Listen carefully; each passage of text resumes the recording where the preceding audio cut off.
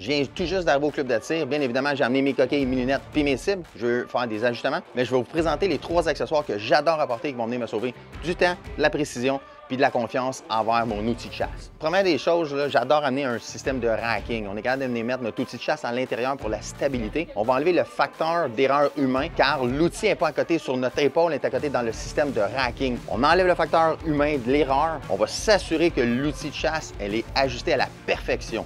Comment bien ajuster votre télescope pour enlever le facteur d'erreur humain? On va mettre la carabine à l'intérieur du rack.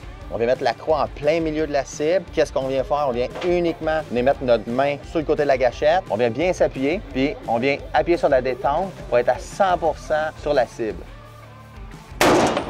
Tout simplement. Fait que 100 pas de facteur humain. On vient s'assurer que l'ajustement du télescope avec la carabine est là à la perfection.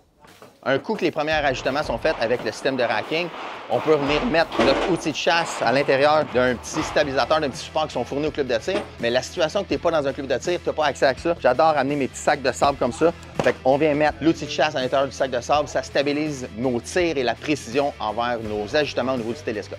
Un accessoire que j'adore apporter qui me fait sauver énormément de temps sur mon ajustement, c'est mon télescope d'observation. J'adore ça parce que le nombre de X, le grossissement est beaucoup plus gros que juste une jumelle. Fait que ça me permet de bien voir les trous dans la cible, où est-ce que j'ai ajusté, où est-ce que j'ai tiré avec euh, mon outil de chasse. Pour terminer, bien évidemment, les coquilles, plusieurs modèles qui existent sur le marché, plusieurs couleurs, euh, des roses, des noirs, des bleus, des grosses, des petites, des moyens. Il y en a qu'on vient de se mettre à l'intérieur des oreilles. Trouvez le modèle qui vous fit. Puis, faut pas oublier les lunettes de sécurité pour les éclats au niveau du tir. Fait que c'est vraiment des petits accessoires qu'on est obligatoirement euh, obligé d'avoir en situation de tir dans un club de tir.